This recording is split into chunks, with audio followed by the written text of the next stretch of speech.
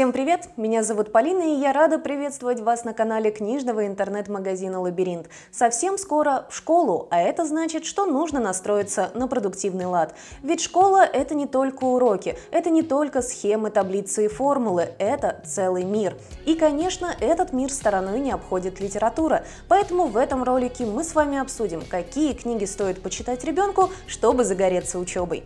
Книги Виктории Ледерман. Это и ее сборники рассказов для детей младшего школьного возраста и, например, повесть «Светлик Тучкин и пузырь желаний». Светлик Тучкин отправляется в первый класс, но ему совершенно не хочется становиться взрослым. Нужно будет делать уроки, учить стихи, ну просто жуть. Поэтому Светлик и его товарищи придумывают хитроумный план и отправляются в прошлое. Приключения мальчишек описаны просто, весело и, самое главное, доступно, так что ребенок понимает, насколько важно ценить настоящее и двигаться вперед, в нашем случае в первый класс. Знаменитые интерактивные издания издательства «Лабиринт Пресс» – вот что моментально дарит блеск глазам настоящим поклонникам знаний. Знакомые истории про остров сокровищ, Шерлока Холмса, Алису читаются совершенно по-новому, когда на страницах вы встречаете дополнительные материалы об истории эпохи, ее культуре, ее знаковым периодам. Детали этих изданий способны увлечь тягой к открытиям и внимательному чтению не только ребенка, но и его родителей. С гуманитарными науками вроде бы все понятно, но когда речь заходит про математику – бррр.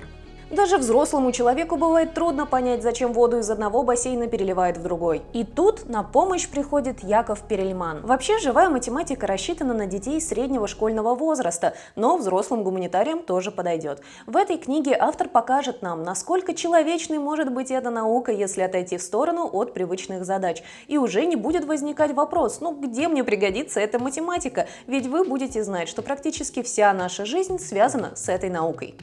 Похожим образом действует на читателя повесть Кирилла Домбровского с рисунками Генриха Валька «Остров неопытных физиков». Четверо мальчишек начинают скучать на каникулах, но их спасают мысленные эксперименты и богатая фантазия. Читатель будет познавать науку от противного. Что будет, если отменить силу тяжести? А если никакого тяготения вовсе нет?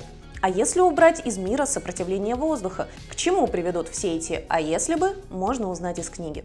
Увлечь ребенка историей тоже очень просто. Путешествовать в прошлое, познавать легенды и мифы разных стран можно вместе с Дашей, героиней книг Анны Гуровой. В этих книгах Даша разгадывает загадки, встречается с египетскими мумиями, королем Артуром и волшебником Мерлином. Она попадает прямо в мифы, и все это не только в тексте, но и в ярких иллюстрациях Анны Ходыревской.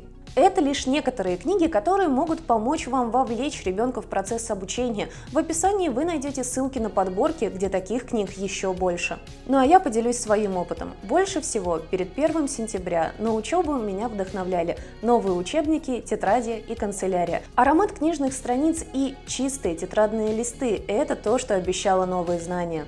Поэтому я вам напомню, сейчас в лабиринте идет школьная распродажа со скидками до 50% на все, что может понадобиться на уроках. Ссылку вы также найдете в описании. На этом у меня все. Обязательно подписывайтесь на канал, впереди еще много интересного и литературного. До новых встреч!